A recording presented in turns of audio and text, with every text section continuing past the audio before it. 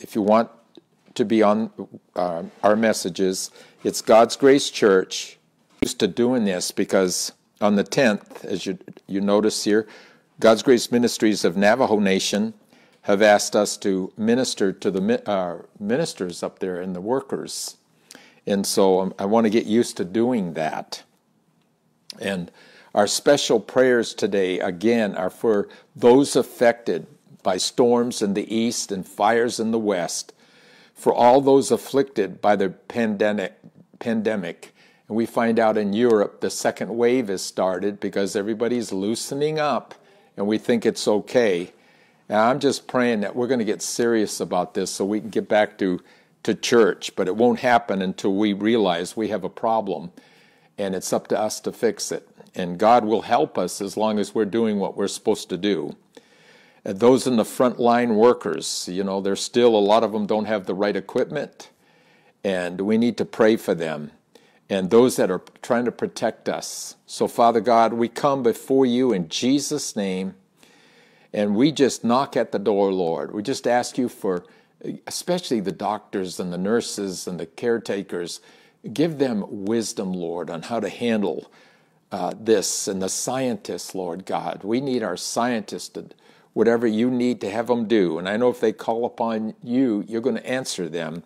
So we pray for all these in Jesus' name that your will is going to be done because we know that by your stripes we were already healed.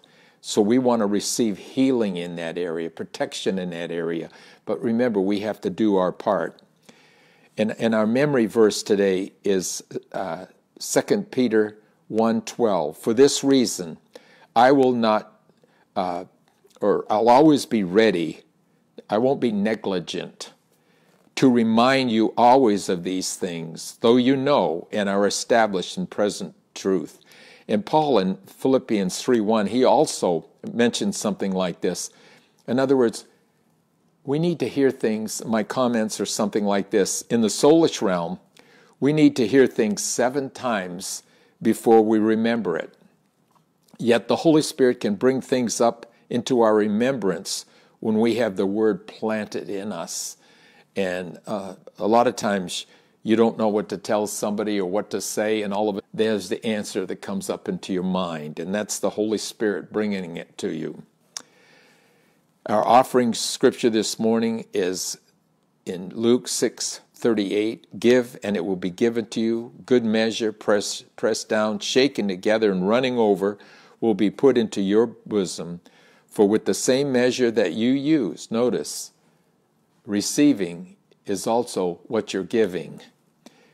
For with the same measure that you use, it will be measured to you. You want love, you give love. You want to be a friend, you become one. You want a friend, you become one. Our second offering, this is the second week, I believe, is for Forerunner Ministries, Mark and Jenna Lee Johnson. Uh, special ministry. You can send your tithes and offerings through our website, PayPal, and I thank you for all those that are sending in your tithes and offerings. And remember, if you send in an offering for, uh, like, let's say for the Navajo Nation, just write it on the comment below. Otherwise, it, it will go into the, uh, the tithe column, an offering column for the church. And uh, we have PayPal, and also uh, it's free when you use your bank's uh, bill pay application. Uh, nobody gets charged, and they mail it right to the church, or that's what a lot of you are doing and PayPal, thank you, Lord. Or mail your gift to God's Grace Church at 2400 Southern, uh, West Southern Avenue, Suite 102, Tempe, Arizona 85282. And those of you that can get together for a prayer in the Spirit tonight at 7 o'clock for all this that's going on. Remember, this is worldwide. This isn't just our country, this is uh, affecting the world. And I keep hearing, if my people who are called by my name shall humble themselves and pray and turn from their wicked ways, then we will hear from heaven and he will heal our land. And notice he's not talking to the unsaved, he's talking to the saved there. Uh, and then the Zoom meeting Monday night, September 21st at 7 p.m. Pastor Al wants to have a Zoom meeting with everyone who can be online and attend.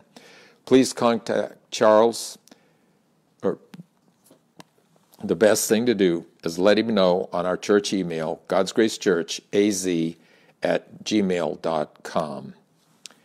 And our Bible study on Wednesday night will be teaching we can know the Lord intimately.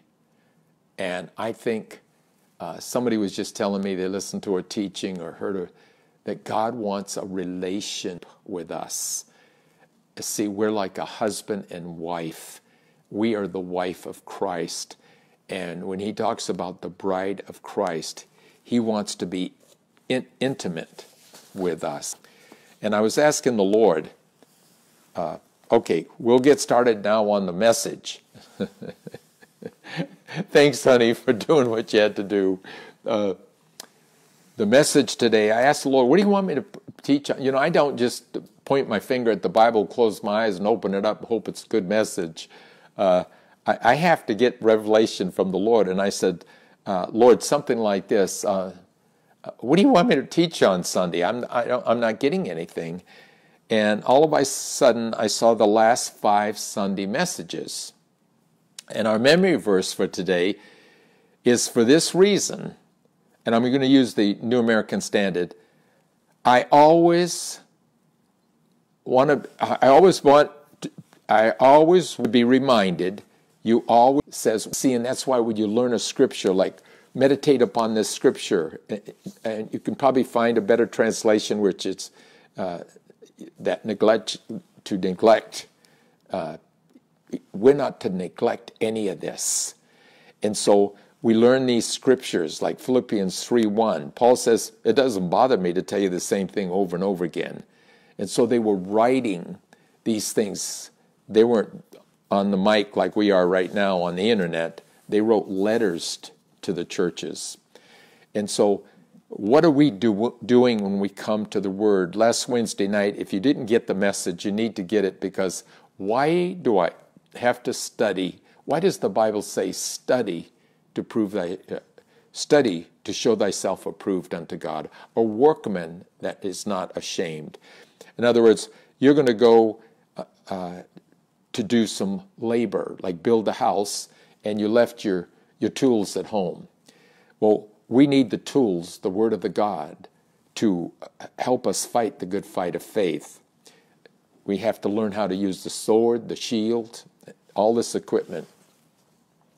And we found out that in Romans chapter 12 and verse 2, it says the renewing of the mind. See, the world is constantly bombarding us uh, even commercials. You go into a store and they're talking about certain things to get you to buy certain things, telephone calls, and everything is to get.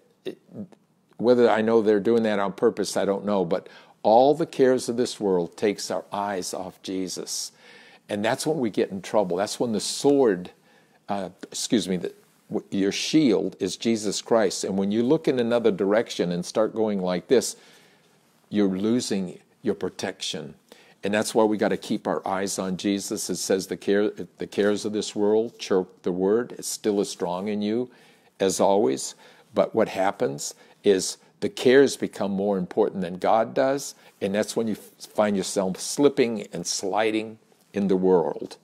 And so there was uh, and then I better say this Hebrews 11 1, everybody knows it. Now, faith is the assurance of things hoped for, the evidence of things not seen.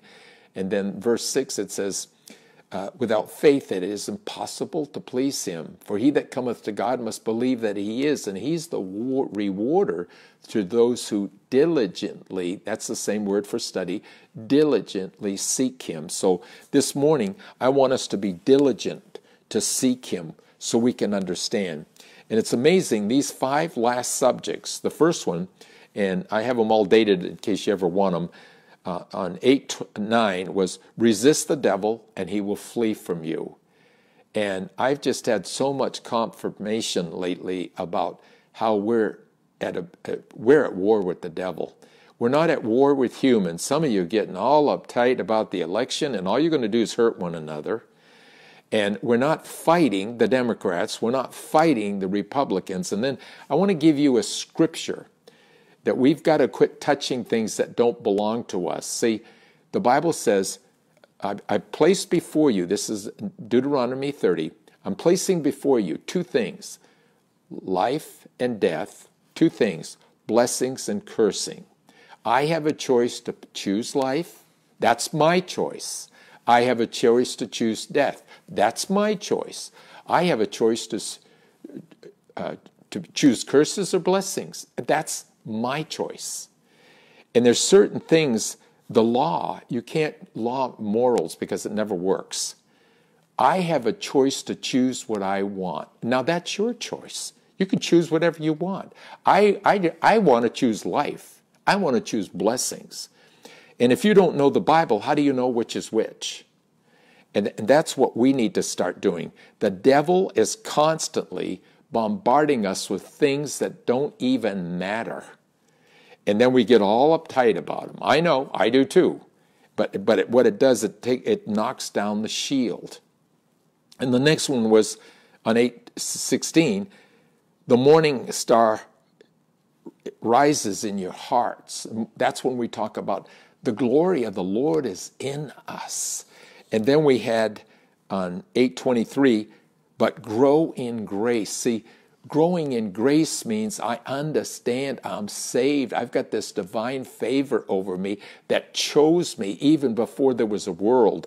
Uh, my name was written in the book of life before the foundations of the earth. And then the fourth one was, I shall live and not die and declare the works of the Lord. And that's one thing we've got to start living for Christ. When you live for Christ, there's a joy that you have. And all this other stuff doesn't really matter because all this is going to be done away with anyway. And then the last one on last Sunday, 913, he shall be like a tree. And so we'll see how much time we have to cover. But uh, I'd like to show you, uh, I know we all know these scriptures, and I'm going to start out in, not sure if you have this or not, in, in Luke chapter 10. Luke chapter 10. Luke chapter 10. And, you, you know, we, we hear things, and I, I don't want to judge people, but, uh, you know, I've heard uh, so many teachings on the gifts died with the apostles uh, all this stuff, it was just for the 12. Well, I'm going to destroy that belief right now because there's no place in the Bible that says it stopped with the apostles. Uh, notice in chapter 10 and verse 1, remember, there was 12. So if there was only 12 and one killed himself, then they put another one in. I, I believe I have 20, I found 23 apostles in the New Testament, literally apostles, ministers of God. That also means uh, apostle. After these things, the Lord appointed 70 others. Now, wait a minute. He's got 12 plus 70. Oh my gosh, we've got 82 now. That's more than 12. Right here, it shows you that the Lord's authority, and then in Acts 1 8, it says, You shall receive power after the Holy Spirit has come upon you, and you shall be my witnesses. And it talks about going all over the world. And what does he say? In, in the last two verses in uh, Matthew 28, he says, uh, uh, Go into all the world, make disciples of all men, baptizing them in the name of the Father and of the Son and the Holy Spirit. And what does it say? Teaching them let them observe what I've taught you. And so here he is. He's sending out 70. So I just showed you two other scriptures. The, the apostles are physically dead. But Jesus said, I'm going to be with you to the end of the world. So it, what it's talking about, the anointing is still here. The Holy Spirit's still here. We receive the same gift the, whole, the apostles did, according to two or three different places in Acts. And so he says, after these things, the Lord appointed 70 others and sent them two by two. Now go to verse 17. Now they come back, they're all excited. Why? Then the 70 returned with joy, saying, Lord, even the demons are subject to us in your name. See, what does it say in Mark 16, 17? In my name you shall cast out demons. And he's that's, that's our job still today. And he said to them, I saw Satan fall like lightning from heaven. Behold, I give you, Al, he's talking, the Bible is God speaking to me. They are life to those that find them and health to all their flesh. Behold, Al, I give you the authority to trample on serpents and scorpions. That's talking about demonic forces. And over all the power, all the power of the enemy, and nothing shall by any means hurt you. Well, we know they got physically tormented, the apostles did, the early church, but in the spirit, none of these demons can take Christ away from you. My choice is to stay with Him. Amen. That's why I, I believe I'm eternally secure because I, I choose Him, not the world. Nevertheless, do not rejoice. So don't rejoice because demons are coming out of people. I've had a lot, or know a lot of people, who have known a lot of people that basically uh, got into serious trouble when they went, I'm going to go find me some demon possessed people. And they got beat up. Paul I know and Jesus I know, but who are you? And they got their clothes ripped. Nevertheless, do not rejoice in this, that the spirits are subject to your name, but rather rejoice because your names are written in heaven.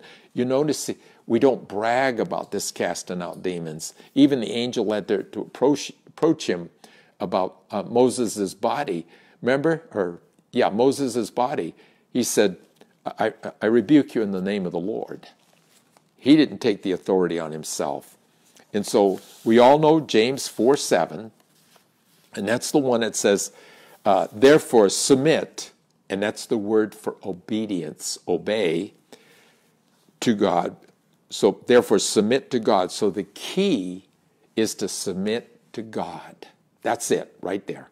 Now, after you submit it to God, like notice when the Lord's Prayer is teaching us how to pray, you don't bring your problem first you, you minister to the Lord first. And then it says resist, and that means to stand against. And it says in Ephesians 6 when you're putting on the whole armor of God, after you've done all, stand. We have to keep standing until it comes to pass. And that word uh, resist means to stand against. In, in 1 Peter 5 9, what does he say? The same thing. Resist the devil and he will flee from you. And so it says here in James 4 7, resist the devil and he will flee. And that means to run away. He runs away or he vanishes from you. And in Matthew 4 4 and verse 7 and verse 10, Jesus just came out of the wilderness. He hadn't eaten in 40 days. And what what does the temp what does the tempter tempt him with? The three sins. One of them, you know, the, there's the eyes, the flesh, and and what happens? Turn these stones into food. Right away, he uses Satan always uses natural things to tempt us. Puts him up on a high pinnacle. I'll give you all this. He can have the whole world. All these promises. And what does Jesus do? he teaches us a lesson. He says, It is written. Notice he didn't say, This is what uh, Brother Al said, this is what Brother Bob said, this is what Charles. No, it is written. And he quoted scripture. If G, he didn't talk to him, he didn't start saying, uh, Don't mess with me. No, it is written. And he quoted the scripture. And in Luke 4:13, when when it, the same thing happened, he said that the, the tempter left for a more opportune time. So just because you got rid of the devil today doesn't mean he's not going to hit you an hour from now. And usually he nails you right after you've heard the word because he wants to steal the word. How does he get to steal the word out of us? It's because we don't understand it or we're dull of hearing. There's many reasons why we don't keep it but it's all up to us. And so in Ephesians 4:27 it says don't give place to the devil. Well, if we if there's no devil, what is he talking about? Don't give place. We open the door to him, and it can come in so many ways, like types of witchcraft that you just think is just, well, I'm just playing a game. And is it demonic? You know, like reading your future. That we're not to do that unless you're doing it out of the Bible. And then, of course, uh, putting on the whole armor of God in Ephesians. And so it is so important that we learn how to resist the devil because he's he, those demonic forces, and they come in different types. They come through humans, and uh, you have to admit these people that are really uh, raping people and killing people the way they're doing, it's not natural for man to do what they're doing. There's a demonic force behind this, and I'm telling you, we're under a, a demonic force right now. And we've got to stand on God's word if you want to stay right with God. And then the next one that we talked about was the morning star rises in your heart. And that's in 2 Peter 1:19. And so we have the prophetic word confirmed, which you do well to heed as a light that shines in dark places, until the day dawns and the morning star arises where rises in your hearts. Praise God. And uh, I added some scripture to that. And one of them is in Acts 13. And I just wanted to show this to you. In Acts, thir- Acts 13, because there's so much that we have to understand about this light that is in us. Because Jesus said in Matthew uh, 5, He said, Let your light so shine before men that they see your good works, but who gets the glory? But God gets the glory. And notice what he says, it's in verse 47. This is Acts 13 47. It says, For so the Lord has commanded us, not just Paul, us. I have set you as a light to the Gentiles. Let's just call them the unbelievers. And believers that need help. That you should be for salvation to the ends of the earth. Goes along with Acts 1 8. So, this morning star that's going to rise upon us, and I know last week I gave you uh, Isaiah, uh, when we did this, was Isaiah 60. And this is. Uh, I saw this so many years ago, but here's what I see. The darker it becomes, in gross darkness, King James called us. In this word, darkness means ignorance, misery, wickedness, destruction. And in the end times, we're going to have more wickedness than we ever have, as it was in the days of uh, Sodom and Gomorrah. It's going to be worse than that. So in Isaiah 60, notice what it says, verse 1 Arise, shine, let your light, for your light has come, and the glory of the Lord is risen upon you. And when Jesus had his final prayer that he was praying, the longest prayer is in uh, John 17, verse 10. He says, The glory that you have given me, I have given I'm glorified through them. Then verse 22 says, The glory that you have given me, Lord, I, Father, I have given to them. This glory is in us. All those scriptures, we're the temple of God, we're the temple of the Holy Spirit, we're the, we're the house of Christ. Christ in you, the hope of glory. Uh, Examine yourselves whether you know of a surety that Christ is in you. See, the glory is already in you. The darker it becomes, the brighter we're supposed to be coming. And so, this is what he's saying here Arise, shine, for your light has come, and the glory of the Lord is going to be risen where? Upon you. For behold, darkness and shall cover the earth, and deep and this is where uh, the King James says, and gross darkness in the people, but the Lord will raise, ri- arise over you. His glory will be seen upon you. I, I love this. The Gentiles, there it is again, what Paul was talking about 2,000 years ago. The unbelievers shall come to your light, and kings to the remembrance of your rising. And I, I know I say this a lot, but in 1 Peter 5, it says uh, that we're to be examples to the flock. And, and I believe the first example we're supposed to be is to our, if we're married, to our mate, our children, uh, our, the church we belong to, where we work, the school we go to. We're to be the example. We're to be the Christ like ones because we're being made into His image. And you know, we all come short of the glory.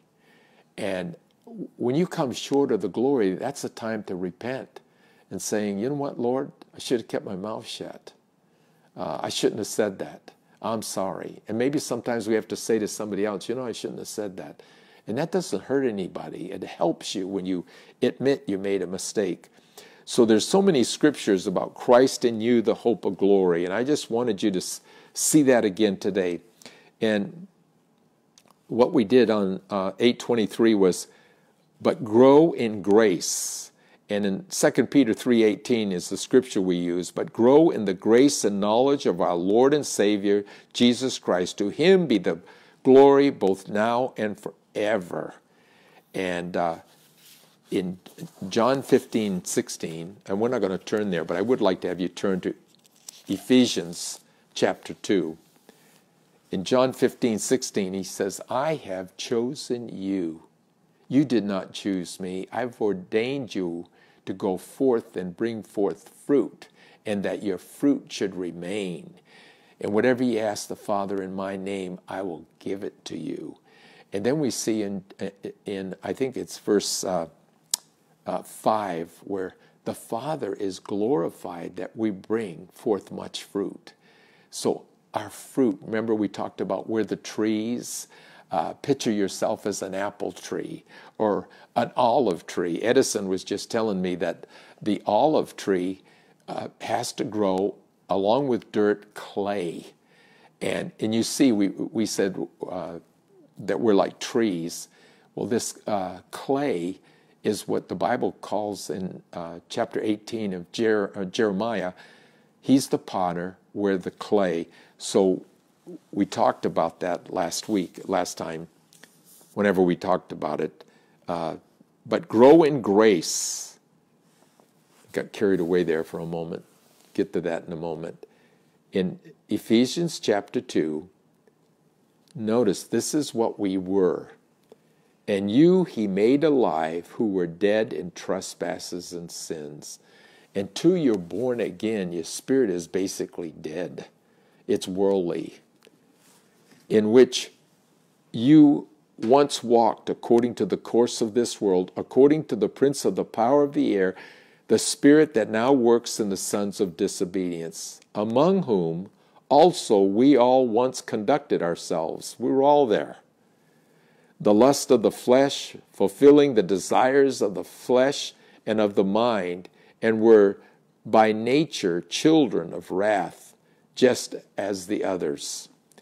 But God, oh, I love this, but God, who is rich in mercy because of his great love with which he loved us, even when we were dead, notice we were spiritually dead in tre- trespasses, made us alive together with Christ. By grace we have been saved, and raised us up together, and made us sit together in the heavenly places in Christ Jesus. Well, you know, I don't feel like I'm in heaven right now, but this is what the Bible says. My spirit is one with God right now. Praise God. The flesh is having a hard time getting this, but notice that raised us up together and made us sit together in the heavenly realm, that in ages to come he might show exceeding riches of his grace and his kindness towards us in Christ Jesus. For by grace, the favor of God, we have the favor of God. We're his children. He's the, the, the, the shepherd of the pasture, he's the, he's the shepherd. For by grace you have been saved through faith and not of yourselves. You can't even take credit. He gave you them, according to uh, Romans 12, I believe it's 3, He gave you the measure of faith to get saved. And the Holy Spirit is moving right now. Anybody that wants to get saved, it's our choice. I can choose eternity with Him or eternity in hell. That's my choice. Uh, nobody can make it for me. Nobody can make me get saved or make me not get saved. It's all up to me. And that's what the hardest thing there is. Because remember, that our example is our forefathers, and that was Adam and Eve. And he said to Adam, See all these trees? You can eat of any one of them. You can do anything you want today. God, anything you want to do, do sin, whatever it is. But he said, if you eat of this tree, you're going to die. Well, he didn't literally die. He lived 900 and something years. What did that mean? He spiritually died. And so when we get this new life, God the Father, God the Son, and God the Holy Spirit comes into this temple. It's called the, don't you know, Paul said, do you know of a surety that Christ is in you, or are you a reprobate? He says, don't you know that uh, that you, you, you are the temple of God. And that was a rebuke to them. They still didn't get it after there's a, a Corinthian letter missing. Three Corinthian letters, and they still didn't understand the dwelling place of God. And that's if you understand Moses' tabernacle, it'll give you a better understanding of the dwelling place, which is the most holy. It says we can come boldly right now. This very moment we can come into the presence of God. We don't have to wait anymore. The veil has been rent. And that's what happened when he rose. Hallelujah. Not of works, lest anyone should boast. We can't say, Well, I done this for you and I done this for you. Give me a pat on the back. No, you can't take any credit for being saved. It's all the Lord's doing. Thank you, Lord. For we are his workmanship. We're, uh, one translation says, pa- uh, masterpiece. For we are his workmanship, created in Christ Jesus. What are we created for? Good works. Now, watch this, which God prepared beforehand that you should walk in them. Your path has already been planned. And that's why it's so important to pray the will of God, because that means you're praying what He wants for you. And if you pray your own prayers and your own what you want, that's you. That's not Him. And so all of a sudden you realize that's why that little comment that came to me from the Lord seek the healer, not the healing, because you're so busy seeking to be healed that you forget about who's the healer. The healer is the Lord Jesus Christ.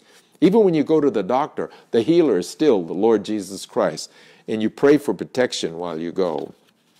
And so that grace message, when you get that down, down, I'm telling you, that fear of death is almost absolutely gone. But you have to understand the grace message. And I was so, I told you this before, I was so afraid to teach on this because you're thinking everybody's just going to go do whatever they want to do. They're saved anyway. No, if you love God, you're going to love God, not the devil. And that's a biggie right there. It's my choice. I'm choosing life. I'm choosing blessings. That is my choice, and I'm taking it. The devil comes not to steal, but to steal, kill, and destroy. But I have come that you might have life and have it more, more, more abundantly. John 10 10. And then in John 16 33, in me you might have peace. In the world you shall have tribulation. Many scriptures talk about the trials we're going to go through. You shall have tribulation. What's the key? Be of good cheer. How can I be of good cheer? Because he says, I'm never going to leave you, Al. I'm never going to forsake you. Even when you pass through the waters, I'm going to be with you. When you pass through the flame, I'm going to be there. Even when you go through the valley of the shadow of death, I'm going to be there. I will never leave you nor forsake you. Hebrews 13, 5. And so this is so important to, and we talked about, I shall not die but live and declare the works of the Lord.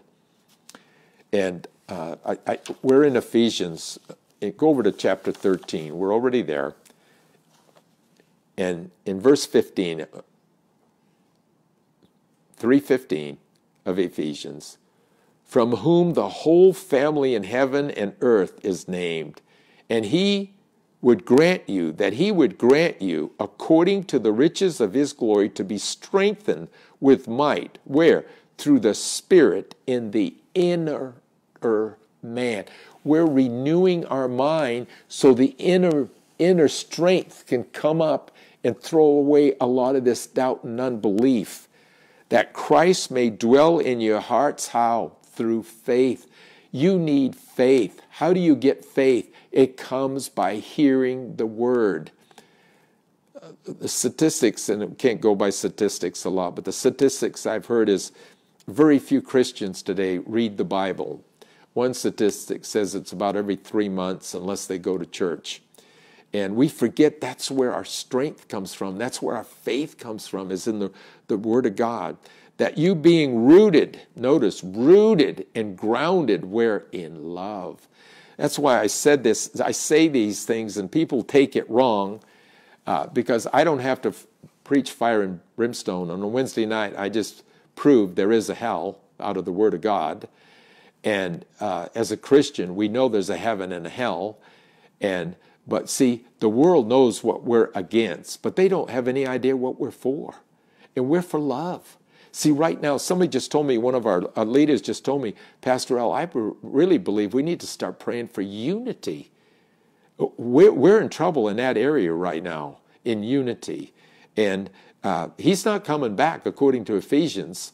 I could just turn the page over and well, I'll read it to you. One of the seven things our job is to do is verse 13 of 4 till we all come to the unity of the faith. Well, I'm telling you, Christians aren't in unity right now. So he's not coming today. So we better start preparing. Why isn't he coming today? Because we're not in unity. We're, we're being blinded by all this other stuff. We got to keep our eyes on Jesus. Not this. This is destroying the church by pointing the finger. And you point the finger, guess what? You got four coming back, three coming back at you, and one up to God. Now you got to reap it. And help me, Lord, because I'm just as guilty. Now watch this, verse 18. May be able to comprehend. Didn't say you would be, may be able to comprehend with all saints what is the width and length and depth and height. What is this all about? You know, every answer we really need, eventually we find it. If you search for them as silver and gold, they are life to those who find them and health to all their flesh. And I always make you pinch yourself so you know what your flesh is. Your spirit is perfect. I am delivered. I'm being delivered and I will be delivered. I'm going to get a new body someday. And I don't know, I might even have hair in heaven. You know, so you, I might have to come up to you and say, hey, you remember me? I was the bald one. anyway, praise God. To know the love of Christ, notice this, that passes knowledge, that you may be filled with all the fullness of God. Wow. He was full with all the fullness of God. And Paul's saying, we can be filled with all the fullness of God. How can that be? Well, He's living in us. We have to understand that. This grace message. How to he, now to him who is able, notice he's able to do exceedingly, abundantly, above all we ask or think, according to the power that works where? In us. And uh, like I want to show you another scripture about that that I quote a lot. Just go to the next book, which is Philippians chapter 2. And we talk about this a lot, verse 12. We're in Philippians chapter 2, verse 12.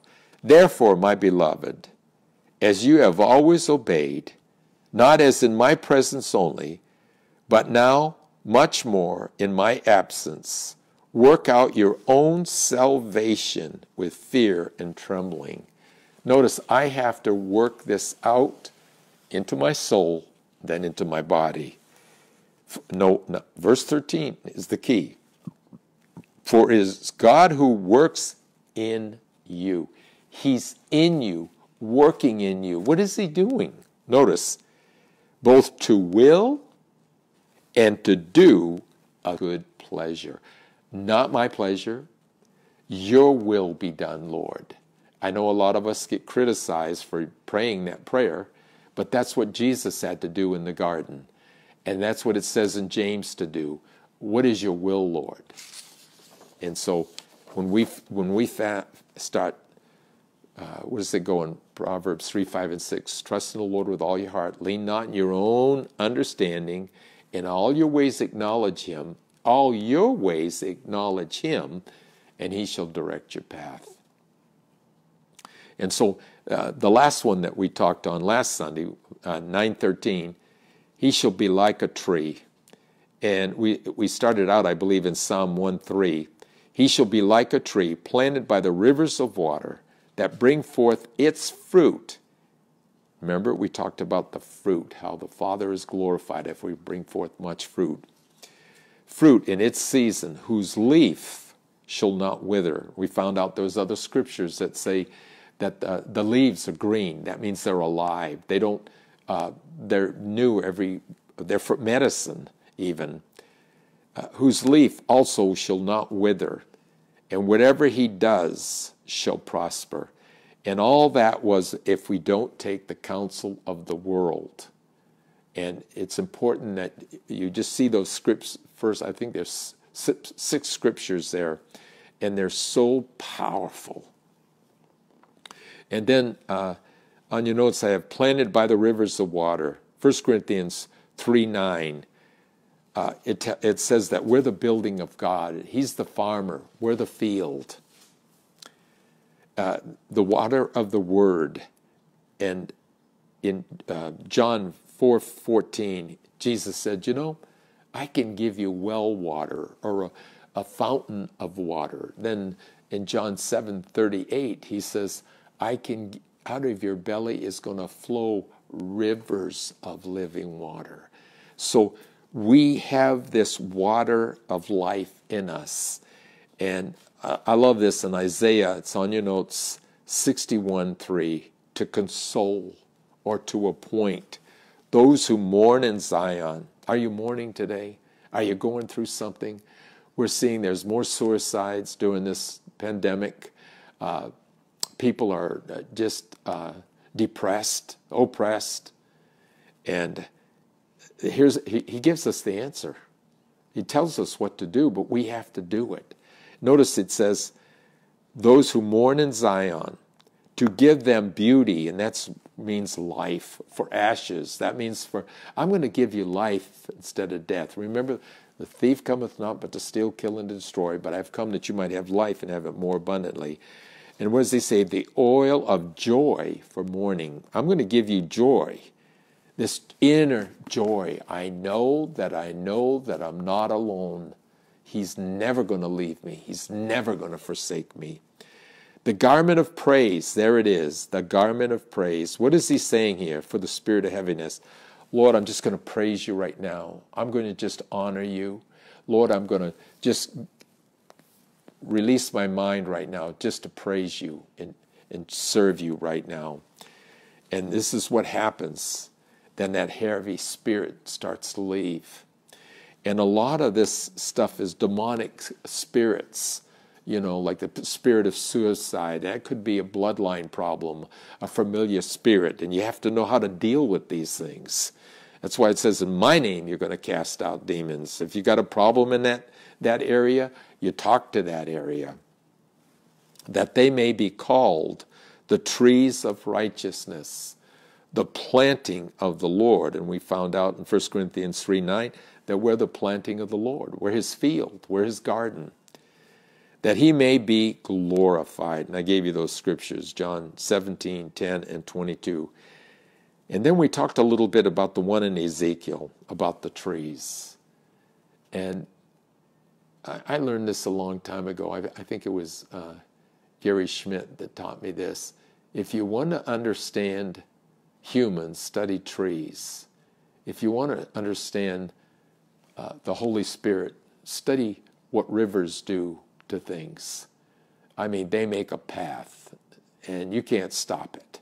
You can build a dam, but eventually it's going to go over that dam.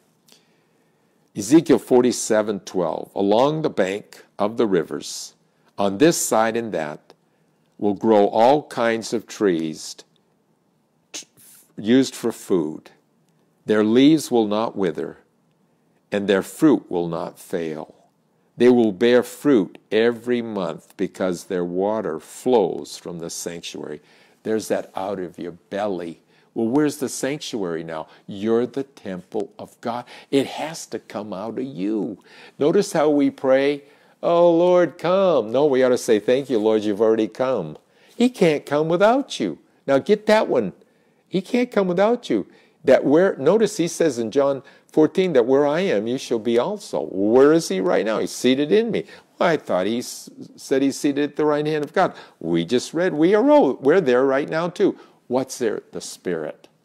And until you have the Spirit, how can you understand spiritual things? That's why uh, a lot of people read the Bible because it just sounds good.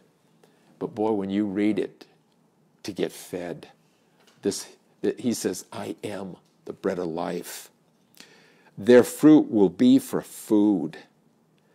And according to Rome, uh, Revelations chapter 12, we're supposed to feed uh, those that are in the wilderness for three and a half years. Notice, we're going to be the food. We're going to bring the Word of God. We're going to bring the life with the Word of God.